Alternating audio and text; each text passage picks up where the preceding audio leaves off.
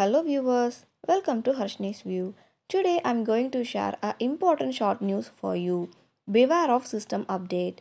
Malware that can steal your photos and message.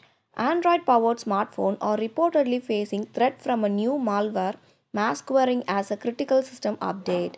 Researchers at Mobile Security from Zimperium Islet Lab found the new advanced malware is capable of stealing personal data such as text message, image, contact, and more. It is even capable of taking full control of the Android smartphone. The research from Note in a blog post, Zimperium explained that hackers can remotely execute command and perform a wide range of malicious action once the bug take control of the system. The bug comes bundled with an Android app called System Update that has to be installed outside of the Google Play. Zimperium CEO Siddharth told TechCrunch that the malware was likely part of a targeted attack. It is easily the most sophisticated we have seen.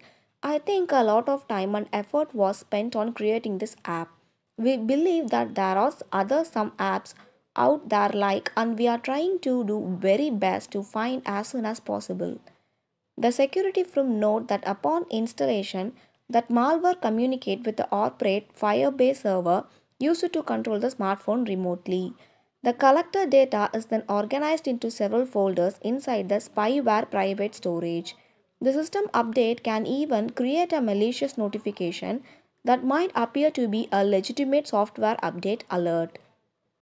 Apart from the various types of personal data stolen from the victim, the spyware wants more private data such as the victim bookmark and search history from popular browser like Google Chrome, Mozilla Firefox and the Samsung Internet browser the blog post highlights. One of the easiest way to avoid such malicious app is not to download files outside Google Play Store. Mittal also confirmed to the publication that the malicious system update app has never appeared on Google Play. On the other hand, Google is yet to address the issue publicly. With this, today information is over. If you like this short news, don't forget to like, share and subscribe. Always stay connected with Harsni's View. Stay safe and stay home. See you. Bye-bye. Tata.